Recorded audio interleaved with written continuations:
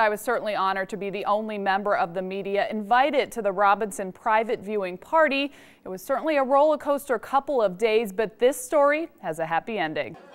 Get out the way! It's Friday night in Gull Lake, and Trenton Robinson is ready. Not really nervous. I'm, I'm excited. Robinson has been dreaming about being drafted since the first time he put his cleats on for the Bay City Central Wolves.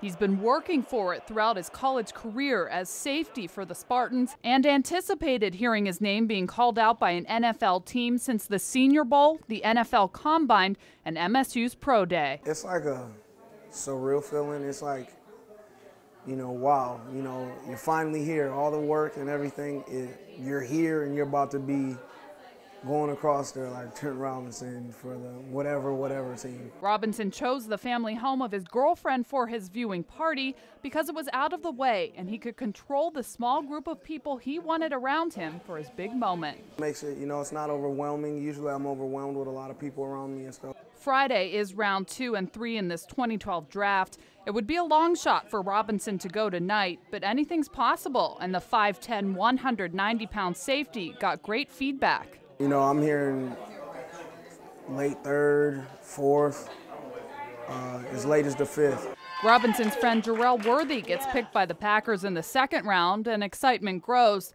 But more than 60 players go off the board this night, and no mention of Robinson. It's Saturday afternoon in Gull Lake, rounds four through seven.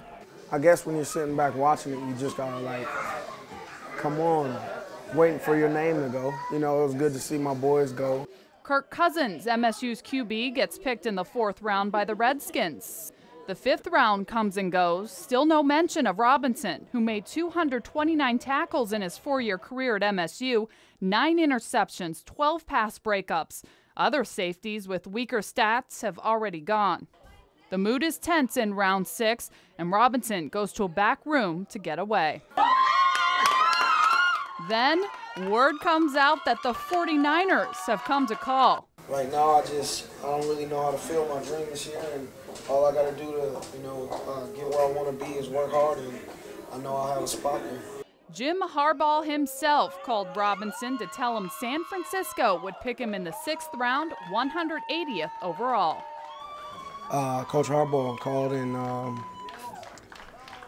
said, "We want you. You know, we're going to be taking you this pick." And I said, "All right, I'm ready. Let's go. I've been waiting all day, so let's go."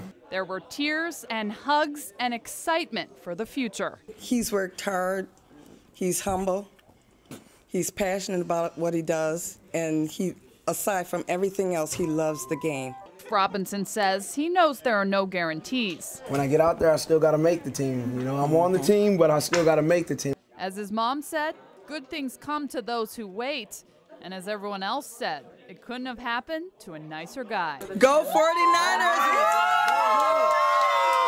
Yes! Robinson tells me he'll take a couple days to really enjoy this, and then the hard work will really begin.